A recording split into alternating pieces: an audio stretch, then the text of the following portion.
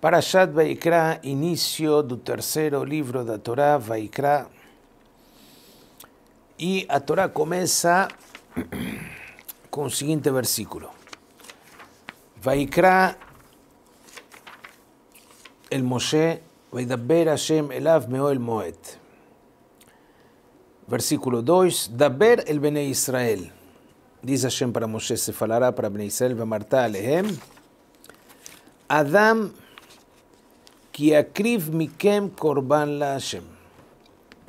Um homem, ou uma pessoa, ou um ser humano, ou um indivíduo, como vocês queiram traduzi-lo, que akriv mikem korban la Hashem. Que akriv de vocês, que vai oferecer de vocês um sacrifício, uma oferenda para Hashem. Mina bema, mina bakar, um minatzon, tem que ser animais, do tipo gado, tipo rebanho, ou seja, grande porte ou pequeno porte, os animais permitidos pela Torá na sequência, takribot com margem. E já, Hamim nos falam, e o Kliakar levanta a seguinte questão. Está escrito Adam, está falando em singular. E logo diz a Torá que akriv mikem, que vai oferecer de vocês, em plural.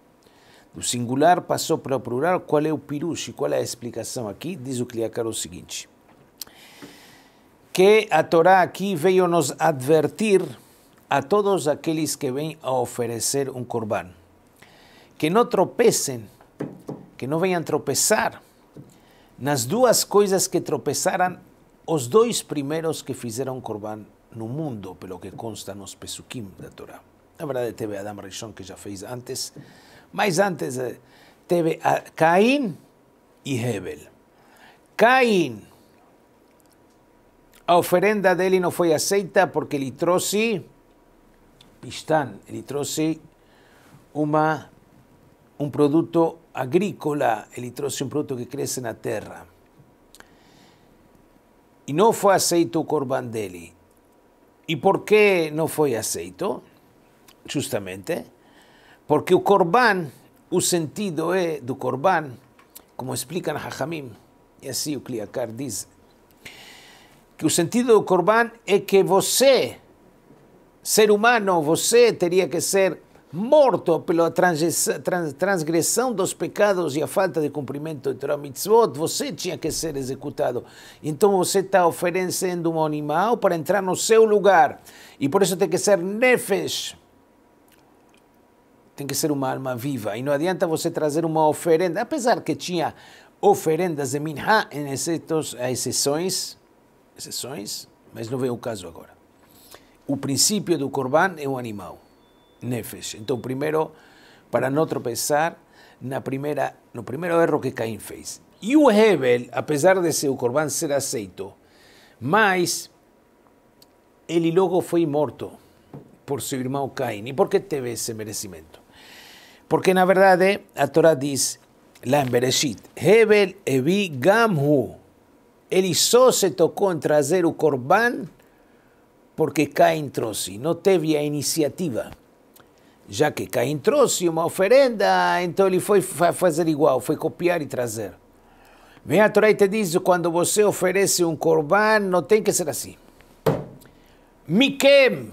Então, primeiro Adam. Adam Adam significa como Adam Arishon, que era único e não era influenciado pelos outros, ele sozinho. Você traz sua oferenda porque você quer trazer a oferenda. Ou porque você precisa trazer essa oferenda para expiar seus pecados, mas não porque o vizinho trouxe. Por isso, outra diz: Miquem. De vocês tem que ser iniciativa sua, não iniciativa, não porque você copia o esta primera parte. Y una secuencia, Ucliacardis, en estos inicios de Perashá, Ucliacardis bastante extenso. Eli fala así, nos tenemos en principio varios corbanot, más tres, tres corbanot que de Eli se desenrola los demás corbanot. Tenemos tres cabezas de corbanot. Hola, que totalmente quemado, llamado de holocausto, o sea, totalmente quemado temos o Corban Hatat, Hatat que era para, por causa de algum pecado que a pessoa fez, vem espiar um pecado. E temos o Corban Shlamim. Shlamim diz Shalom. O Corban Olá era únicamente animal macho. E por que animal macho em Corban Olá? E Corban Hatat, pessoa física, vamos esquecer agora alguns Hatat que eram diferenciados para Cohen Gadol, que ele pecou, o Sanedrino, o povo. Mas o normal, padrão Hatat é fêmea. O animal é fêmea. Certo? E por que esta diferença? Diz o Kliakar, pois o Olá era trazido por Hirur.